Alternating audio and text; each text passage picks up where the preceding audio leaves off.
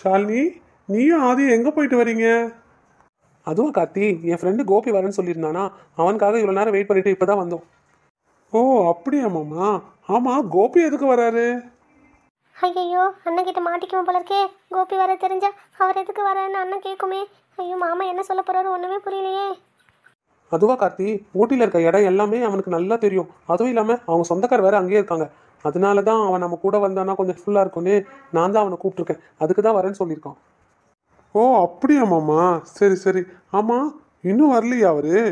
Flight வேறு யாரு start பண்ண போகிறாங்க டைம் ஆகுது ஃப்ளைட்டுக்கு இப்போ தான் கால் பண்ணான் கார்த்தி அவன். அவனுக்கு ஒரு முக்கியமான வேலை இருக்கான். அதனால அந்த வேலையை முடிச்சுட்டு அவன் நாளைக்கு வந்துடுன்னு சொல்லியிருக்கான்.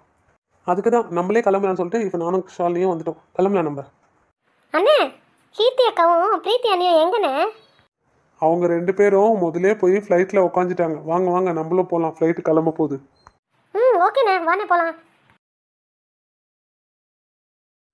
இவன் எதுக்கு இங்கே உட்காந்துட்டு இருக்கா ஷாலினி நீ அங்கே உட்காரு உன் பக்கத்தில் நான் உட்காந்துக்கிறேன் அண்ணே அவங்க உன் பொண்டாட்டி. நீ தான் அங்கே உட்காரணும் நான்லாம் அங்கே உட்கார முடியாது. போ நீ அந்த பக்கம் உட்காரு நான் இந்த பக்கம் உட்காரேன் ஷாலினி நான் சொன்னதை நீ கேளு. என்னாலலாம் அவ பக்கத்தில் உட்கார முடியாது. நீ உட்காரு நான் உன் பக்கத்தில் நான் உட்காடுறேன் ஆதி அவங்க அப்படிதான் சண்டை போட்டுட்டு இருப்பாங்க. நீங்க வந்து உட்காருங்க. அதுக்கப்புறம் அவங்களே உட்காந்துப்பாங்க. ம் சரி கீர்த்தி. எனக்கும் இவங்க ஆரம்பத்திலே ஆரம்பிச்சிட்டாங்களா? எனக்கு ஒன்றுமே புரியல. என்ன பண்ணுறதுன்னு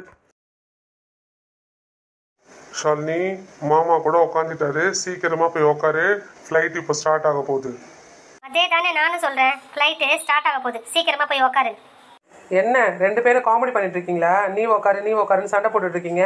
எனக்கு என்ன வியாதியா இருக்கு? இல்ல கொரோனாவா என் பக்கத்துல உட்காந்து உங்களுக்கு வந்து பிடிச்சிக்கணும் ஷாலினி இப்ப நீ வந்து என் பக்கத்துல உட்காரியா இல்ல நான் இங்க இருந்து எழுந்து போட்டுமா? பிரீத்தி அண்ணி நீ கொச்சுக்காத நானே வந்து உட்காரேன் என்ன கார்த்திக் இன்னும் பார்த்துட்டு நிக்கிற? வந்து உட்காரு. உட்கார எனக்கு தெரியும். நீ உன் வேலையை பாரு. ஐயோ இவங்க ரெண்டு பேர் நடுவில் மாட்டிக்கிட்டு நான் இன்னும் என்னெல்லாம் பாடுபட போறேனோ தெரியலையே.